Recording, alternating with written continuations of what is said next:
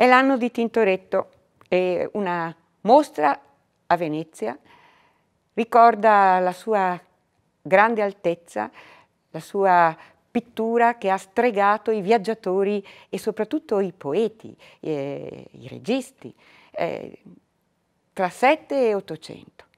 Delacroix eh, ha tratto i suoi neri dai neri di Tintoretto e Proust eh, ha cercato di restituire nella sua prosa ipnotica il combattimento tra luci e ombre dei dipinti di Tintoretto.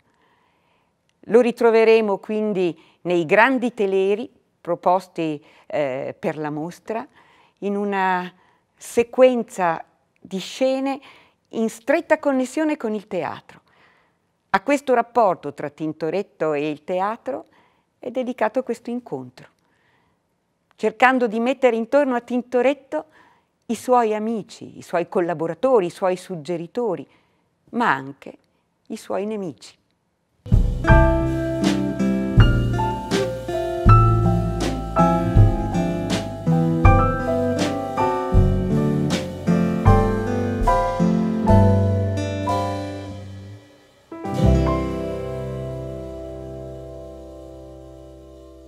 Riprendiamo i percorsi d'arte con eh, un incontro dedicato a uno dei pittori più amati del Cinquecento, anche se dalla sorte critica eh, multi, multiforme.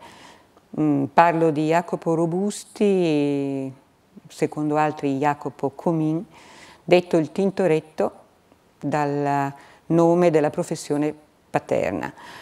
Pittore veneziano, che non si mosse da Venezia, almeno con nessun viaggio documentato nella sua carriera artistica. Eh, L'incendio dell'archivio della parrocchia di San Polo ci ha privato del documento che testimoni della data di nascita di questo pittore. Così fondandoci sulla data della sua morte e sulle affermazioni dei cronisti, possiamo far risalire, collocare la sua nascita tra il 1518 e il 1519. Eh, Venezia celebra mm, nell'autunno del 1518, quindi la nascita di questo artista, con una mostra che poi si sposterà eh, a Washington. Tintoretto è un pittore dalla produzione immensa mh, mm, e ben riconoscibile.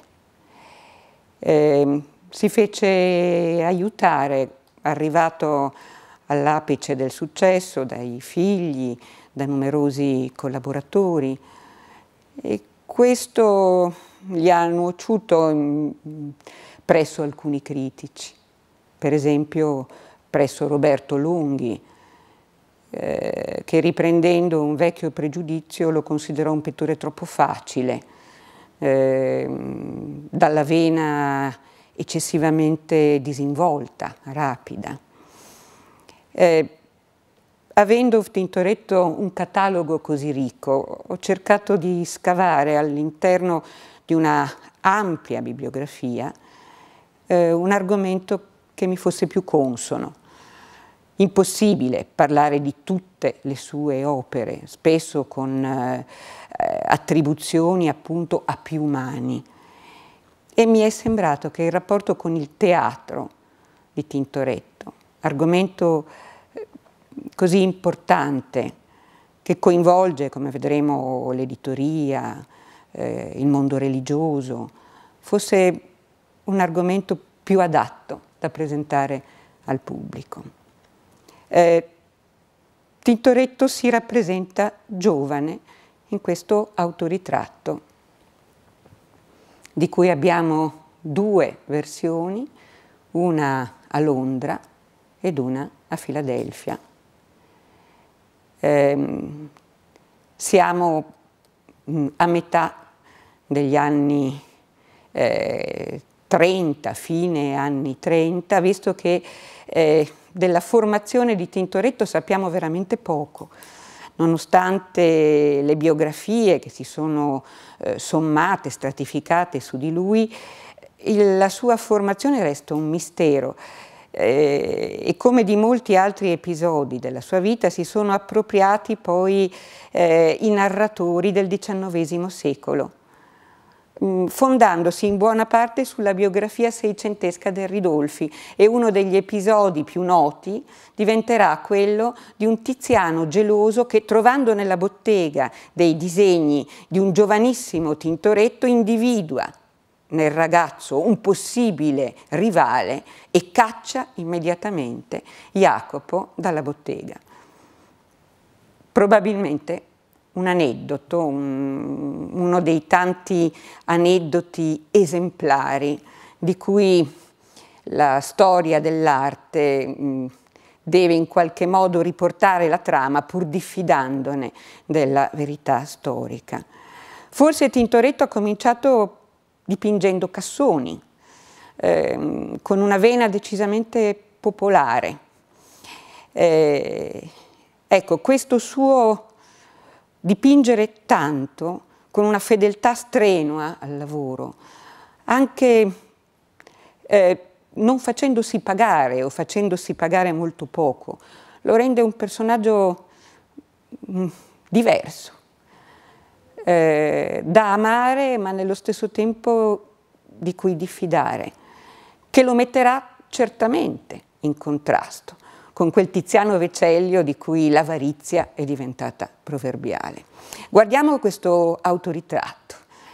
Eh, sembra un giovane romantico. Non a caso di Tintoretto si innamoreranno eh, della Croix e appunto eh, scrittori e artisti del romanticismo occhi brucianti e l'inconfondibile fondo nero, il nero di Tintoretto. È un nero che farà tanta strada, arriverà eh, forse a Caravaggio, sicuramente a Rembrandt. E se questo è un autoritratto giovanile, il più straordinario certamente dei suoi autoritratti è però l'ultimo in cui lui si rappresenta in maniera inconsueta, frontalmente.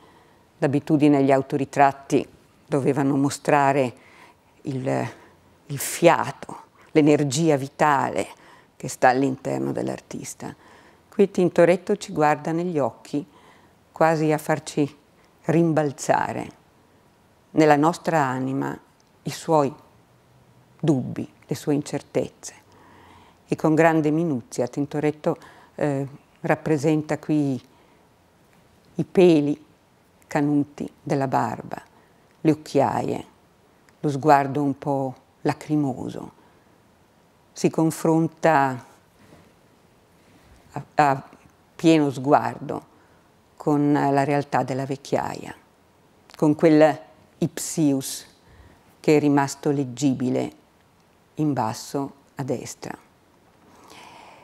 Diceva il filosofo russo Rosanov che ciascuno di noi ha un'età in cui è pienamente se stesso.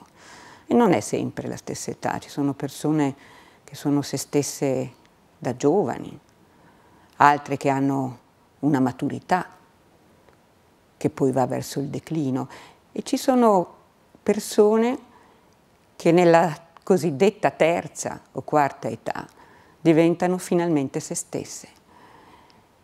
Ecco, Tintoretto ha curiosamente rappresentato il mondo dei vecchi. Mm, e anche qui, visto che non abbiamo interviste rilasciate da Tintoretto, qualcuno dice ha rappresentato così la senescenza della Repubblica di Venezia, che stava comunque congedandosi da secoli di splendore Mm, altri sottolineano la dimensione stoica della vecchiaia. Guardate, il procuratore Soranzo, con questa barba di nuovo splendente, di un biancore eh, pieno di, di forza ancora e di dignità, ma soprattutto l'incredibile vecchio del Kunsthistorisches Museum di Vienna, che non ha nome, non sappiamo chi sia, però è un quadro speciale. Di lui ha parlato Thomas Bernard in un testo difficile, crudo, ma anche intensissimo, che si intitola Antichi Maestri. Il protagonista di questo testo resta 30 anni davanti a questo ritratto, cercando di sciogliere gli, i quesiti che l'arte propone, guardando questo sguardo in tralice, studiandolo dettaglio per dettaglio. Ma anche dopo 30 anni l'enigma non si scioglie, la potenza di quello sguardo. I vecchi, la loro storia, l'esperienza, il cambiare della pelle. Sicuramente questo tema de senectute sarebbe poi passato appunto a chi ha visto direttamente le opere di Tintoretto e a chi forse ne ha visto solo la traduzione in incisione. Tra i primi, cioè tra quelli che hanno frequentato la bottega di Tintoretto, vedendo le barbe, le chiome nive dei suoi personaggi, c'era un Domenico Ceatocopoulos che spassato poi in Spagna diventerà noto con il nome di El Greco. I personaggi di Tintoretto si faranno eh, ancora più scavati e spirituali, ma come si vede in questo ritratto cardinalizio, il rapporto tra Tintoretto e il greco è palese, ben visibile. E questo ritratto di Tintoretto, che si trova alla Galleria Palatina di Palazzo Pitti, è forse il ritratto di vecchio più interessante per il nostro argomento. Anche qui occhi un po' acquosi, lo sguardo distante, ormai separato dal gran movimento mondano. Lui, il personaggio rappresentato, seduto, si chiama Alvise Cornaro è una di quelle figure dell'incredibile galleria di personaggi che ruotano intorno a Tintoretto.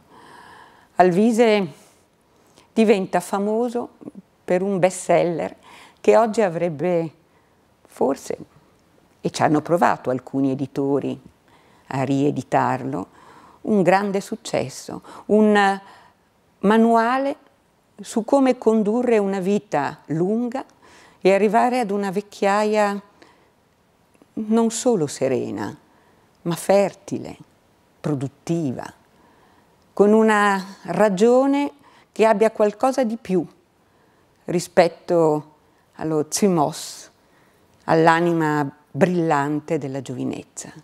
Alvise Cornaro scrive, tra le altre cose, questo trattato sulla vita sobria in netta antitesi con la visione mm, edonista che aveva guidato una buona parte della storia eh, del Cinquecento veneziano. Anche qui abito scuro, fondo scuro. La vera vita consiste nel saper equilibrare la mente, l'anima i sensi. Un signore interessante, questo Alvise Cornaro, che a Padova crea intorno a sé un, una cerchia di amici mh, mm, disparati, ma tutti estremamente vivi e penso in particolare a Ruzzante. A Padova Alvise fa costruire la loggia e l'Odeon, che oggi chiamiamo loggia e Odeon Cornaro. abbandonati per tanti secoli, sono stati di recente restaurati, se ne è studiata la um, iconografia e gli storici dell'arte hanno potuto così confrontarsi con gli storici del teatro. Il teatro nel Medioevo era stato condannato dalla Chiesa. Esiste un famoso testo di Tertulliano che dice che il teatro è finzione e se già la vita è polvere, la finzione che rappresenta la vita è men che polvere, è inganno. E così, con una ambiguità inevitabile, la Chiesa aveva fatto delle cerimonie, delle processioni, grandi eventi con una forte componente teatrale, ma da cui veniva escluso il racconto della trama. Agli inizi del Cinquecento, eh, in questo gran fervore di ritrovo dell'antico, eh, si rileggono Plauto, Terenzio e rinasce il teatro, ma, e questo è argomento secondo me profondamente moderno, rinasce nelle corti, o per meglio dire nei cenacoli esclusivi. Eh, come dice appunto Ludovico Zorzi, Alvise Cornaro invita i suoi amici, i suoi accoliti ad assistere a rappresentazioni che devono eh, rappresentare il mondo alla maniera dei testi finalmente godibili della commedia plautina. Sappiamo poco di questo teatro, sappiamo poco del teatro di Shakespeare, delle messe in scena shakespeariane, ancora meno naturalmente di questi incunaboli della storia teatrale. Davanti a questa loggia con l'Odeon accanto, si tenevano delle rappresentazioni quasi certamente con effetti luminotecnici, accendendo candele, fiaccole. E se le messe, le cerimonie sacre, le processioni dei flagellanti erano spettacoli per tutti, il teatro diventa qui momento di aggregazione di una classe che si sta formando e che sta cercando una sua identità culturale. Per costruire questi due edifici, che sono, come vi dicevo, i resti di un immenso naufragio, quanti te teatri classici saranno stati costruiti eh, tra Roma, Ferrara, nelle corti. Urbino, come aveva genialmente intuito Ronconi, cosa resta di questo mondo? Sappiamo veramente molto poco, però sappiamo che Cornaro chiama un architetto che si chiama Falconetto e che arriva da Mantova eh, dobbiamo immaginare che i rapporti tra Venezia e la terraferma eh, sono per tutto il XVI secolo rapporti insieme conflittuali ed evidentemente di collaborazione tra alcuni mm, illuminati, come è appunto il caso del Cornaro. E dicevo, il falconetto viene da Mantova. Mantova, i Gonzaga, una tradizione anche qui di palazzo come città, come luogo di rappresentazione. Ecco, questo che vedete, e so che è molto piccolo, ma spero sia chiaro, è un piccolissimo lacerto, ma preziosissimo Ripeto, immaginiamoci come dovevano essere le messe in scena delle opere del Ruzzante, a metà del Cinquecento, quando non c'erano ancora evidentemente eh, i nostri teatri stabili. E, e bisognava passare dalle processioni medievali che avevano avuto comunque le famose mansiones, cioè dei piccoli piedistalli, delle, eh, dei piccoli edifici in cui simulare la via Crucis, ad una rappresentazione laica. Ecco, queste tre casette, ben identificabili come case veneziane, perché hanno il famoso camino a imbuto rovesciato, sono l'unico segno che abbiamo di come si mettesse in scena a metà del Cinquecento un testo nuovo come quello del Ruzzante, perché viene questo disegno da un codice che si trova nella Biblioteca Marciana di Venezia, ehm, che eh, reca il testo, in cui è scritto il testo della Bettia del Ruzzante. La scena doveva essere così, la casa di Bettia, la casa del suo spasimante, la casa del rivale. Di che cosa erano fatti questi edifici? Non lo sappiamo. Sappiamo che comincia però così una tradizione che a Venezia ha eh,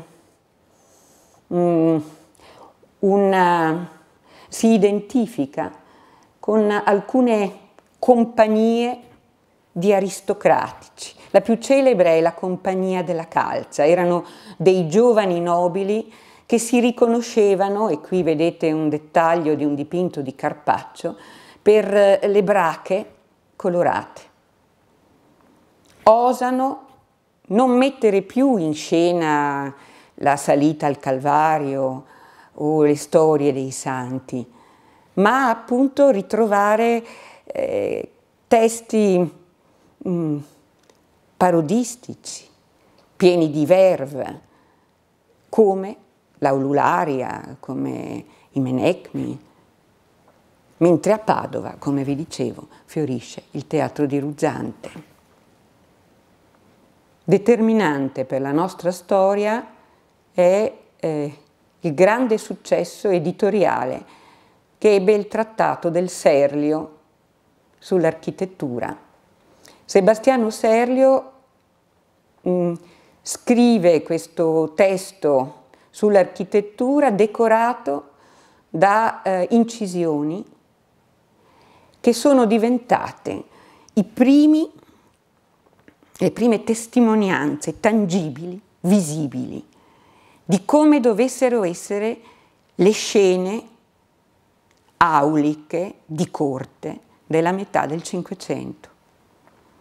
Siamo nel momento in cui la prospettiva cambia il modo di percepire lo spazio. Quindi se prima il teatro era itinerante, adesso il teatro prevede un riguardante e un palcoscenico, un palcoscenico con un punto di fuga e la prospettiva diventa lo strumento fondamentale per l'identificazione tra chi guarda e chi agisce sulla scena. Queste scene fisse, a cui probabilmente vanno collegate anche le celebri cosiddette città ideali, quella di Baltimora, quella di Berlino, quella di Urbino. Eh, guardatele bene, con l'alternanza di pilastri tuscanici, di logge, di obelischi, con l'arco al termine e la statua di evocazione classica sul frontone, perché ritroveremo queste architetture nei fondi di Tintoretto, che sicuramente conosceva, lo abbiamo detto, Alvise Cornaro. Tragedia, commedia, Serlio osa mettere sulle pagine di un prezioso libro a stampa i requisiti richiesti da una scena. Qui dovete immaginarvi gli attori che entrano ed escono. Ma pensate anche che queste scene dovevano essere fisse e questa storia così condensata inevitabilmente del teatro cinquecentesco porterà, lo vedremo, alle novità palladiane. Qui vi faccio vedere un curioso ritratto, perché se dovessi essere veramente profonda e completa, come non è dato, ahimè, nemmeno ai docenti di essere fino in fondo, dovrei parlarvi della complessità biografica di questi personaggi, che avevano delle vite al cui confronto noi siamo dei, eh, dei piccoli giocattoli abbandonati in un angolo. Um, questo signore, per esempio, noto come il cieco d'Adria, diventa attore, ma è anche eh, musico e scrittore. E come attore interpreta forse Edipo, forse Tiresia, entrambi personaggi non vedenti del teatro classico, nel Edipo Re vi, con cui viene inaugurato il Teatro Olimpico di Vicenza nel 1585. Ritorna trionfalmente l'idea del teatro, che arriverà poi al finire del XVI secolo alla gran visione shakespeariana del mondo come teatro e del teatro come mondo. Eccezionalmente conservato, il teatro olimpico nasce, non dobbiamo dimenticarlo, da un'accademia, l'Accademia degli Olimpici, appunto. E, come vi dicevo, mm, Tintoretto è sicuramente integrato in questi cenacoli che vedono insieme archeologi, cardinali, scrittori, musici, attori finalmente promossi dal ruolo di buffoni di corte ad interpreti e mediatori. Una straordinaria storia che ha come fondamento il grande sogno dell'antico.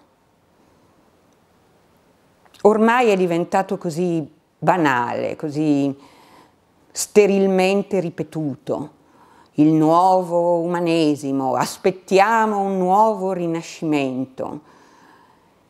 In realtà abbiamo così, così poco rapporto con l'antichità, la sentiamo così distante.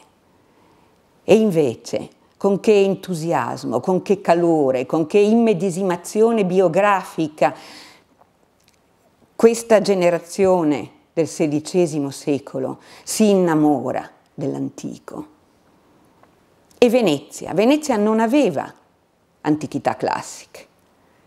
Ha una storia così speciale, Venezia, nata in mezzo alle paludi. I profughi di Altino e di Aquileia non avevano certo potuto portare con loro né marmi né lapidi né statue quando si erano trasferiti a Rialto dando origine a quella che sarebbe stata la Serenissima. E proprio questa mancanza di un passato classico diventa nel XVI secolo a Venezia una lacuna da colmare. E anche qui, figure che io ritengo fondamentali per la nostra storia, perché ciascuno di noi attinge, anche non volendolo, anche coltivando l'ignoranza più esibita, a quello che loro hanno cercato, quello che loro hanno vissuto. Figure come il cardinal Domenico Grimani, che vuole portare a Venezia delle statue classiche e fra le altre porterà a Venezia, in un palazzo meraviglioso, di cui fra breve vi farò vedere mm, una immagine, una collezione di marmi antichi. Fra l'altro questa testa cosiddetta dell'imperatore Vitellio. Per noi una delle tante teste antiche, quelle che vediamo a migliaia nei musei italiani e non solo italiani, più o meno importanti. Ma in una città come Venezia, che aveva avuto fondi oro per secoli e figure rigorosamente bidimensionali, e che non conosceva il marmo, se non come qualcosa di misterioso e di lontano. L'arrivo di queste figure a tutto tondo, tridimensionali, doveva essere emozionante. E infatti Tintoretto disegna e disegna a più riprese anche la testa di Vitellio. Io non farò, non potrò parlarvi non solo di tutta l'opera pittorica di Tintoretto, ma tantomeno della sua pur importantissima parte grafica. Però il disegno è per Tintoretto essenziale, perché Tintoretto si trova a crescere in una Venezia che vede arrivare da Firenze e soprattutto da Roma degli artisti che si portano dietro le scoperte michelangiolesche, la scuola michelangiolesca e quindi essenzialmente il disegno. Venezia era sempre stata molto sul chi va là rispetto alla tradizione figurativa di Firenze e di Roma. Ma quando dopo il sacco di Roma del 1527 tanti artisti, ma anche intellettuali arrivano a Venezia, il confronto diventa inevitabile. Bella la tradizione di Bellini, di Giorgione, del primo grande Tiziano, ma quei disegni, quelle incisioni provenienti dalle tombe medicee di Michelangelo, quanto fascino dovevano avere. Ecco, questi disegni sono straordinari e ne approfitto per dirvi che è solo la nostra banalità, la nostra cecità, che ci fa amare i quadri e guardare con eh, fretta e, e trascuratezza i disegni. I disegni che proprio per Michelangelo e per i fiorentini sono invece il momento in cui l'idea diventa figura. Ed ecco che l'imperatore Vitellio, che abbiamo visto nella sua algida versione marmorea, sotto la mano di Tintoretto, diventa carne e soprattutto riflessivo.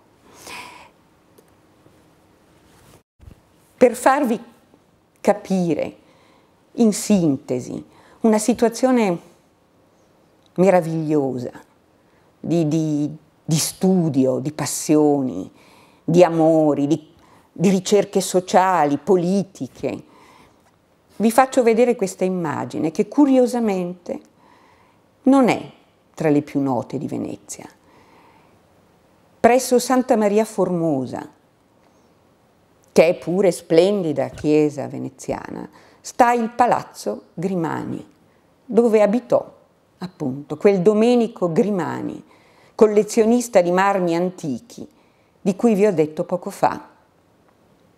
Il palazzo è stato riaperto al pubblico ormai quasi dieci anni fa, ma non direi che è spesso inserito negli itinerari veneziani. Io credo perché è un'isola di arte centro-italiana e per i turisti di un giorno per i turisti che vengono a Venezia per godere l'atmosfera veneziana in poche ore e poi ripartire. Trovare tracce di Firenze e di Roma a Venezia mm, è disturbante. E così, in una Venezia sovraffollata, la Venezia dei tornelli, credo che ci sia ancora la possibilità di girare quasi soli per le auliche stanze di Palazzo Grimani, di cui qui vedete una volta cassettonata, che termina con questo scenografico calco derivato da un gruppo ellenistico del ratto di Ganimede, un vero e proprio trucco, direi persino più che teatrale, direi veramente cinematografico. Eh, quando Vittorio Sgarbi ha curato il catalogo della mostra di Tintoretto, tenutasi qualche anno fa alle scuderie del Quirinale, ha mh, mm, più volte usato questo termine che può sembrare audace alla vecchia scuola, ma pensate, e lo vedremo, che i curatori della mostra sul giovane Tintoretto tenuta al Palais du Luxembourg non molto tempo fa, paragonano i colpi di scena delle, dei dipinti di Tintoretto alle architetture dei videogiochi.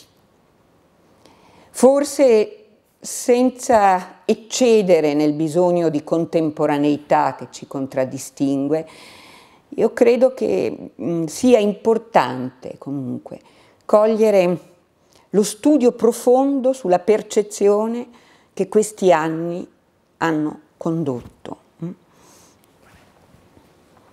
E quando si parla di toscani a Venezia, non si può naturalmente non parlare del terribile Aretino, il linguacciuto Aretino, che seppe tenere insieme tutta, eh, tutta la combriccola di appunto collezionisti, mh, mm, pittori, un uh, vero factotum, antipatico forse, un po' cinico, ma che grazie al cielo ha scritto molto e che quindi dobbiamo per forza usare come testimone della Venezia del tempo. Qui lo vediamo in un famosissimo ritratto che gli fece Tiziano, Tiziano che fu il suo beniamino e Aretino lo mh, mm, aiutò a costruire una spettacolare carriera. Tiziano all'epoca della giovinezza di, di Tintoretto era già il pittore delle corti, ma delle corti europee, quindi Carlo V, Filippo II. Eh, Aretino mh, parla bene di, di, Tintoretto, ma sempre eh, con quella leggera eh, acidità, quella ambiguità che a me, profondamente romantica, come dico spesso, fa in qualche modo un, un po' orrore. Eh, Aretino dice sì, bravo, Tintoretto, eccezionale, ma se fosse un po' meno veloce nell'esecuzione, se, se ci pensasse un po' di più. Di queste maldicenze dell'Aretino eh, si occuperà il XIX secolo. Engel, per esempio, farà un dipinto in cui si vedono Tintoretto ed Aretino litigare nell'atelier del pittore. Certo, intorno ad Aretino si muoveva il mondo soprattutto dei profughi, quelli arrivati a Venezia portando la loro competenza cresciuta nel centro Italia, fra gli altri Jacopo Sansovino, eh, Francesco Salviati, lo stesso Giorgio Vasari, anche lui importantissimo per gli storici dell'arte, ma famoso pettegolo e malalingua. Aretino, lo sappiamo, ha scritto facezie e sonetti lussuriosi. Eh, d'altra parte, sono anche gli anni del più celebre poeta proibito, letto peraltro un po' in tutti i secoli a seguire, che è stato Giorgio Baffo. e che il teatro di Tintoretto, quel teatro che Tintoretto doveva vedere, a cui doveva contribuire, mettesse in scena anche eh, facezie e fabelle erotiche, lo mostra questo famoso dipinto di Tintoretto che si trova a Monaco e che è uno dei dipinti più, più piccanti di quel tardo Cinquecento che non va dimenticato, è anche il periodo della Controriforma. Tintoretto racconta un famoso adulterio. Mm. Venere tradisce Vulcano che lavora troppo che fatica nella sua fucina, con eh, un Dio più aitante e, se Dio vuole, si spera, meno occupato, cioè Marte, il Dio della guerra. Marte è entrato nel sacrario della camera di Venere e i due hanno fatto l'amore. Ma qualcuno fa la spia presso il marito cornuto e Vulcano torna inatteso e controlla, pover'uomo, le pudenda della moglie infedele. Intanto Marte, che non ha avuto il tempo di scappare, si nasconde sotto il letto e un cagnino che vedete ai piedi del letto di Venere abbaia svelandone il nascondiglio.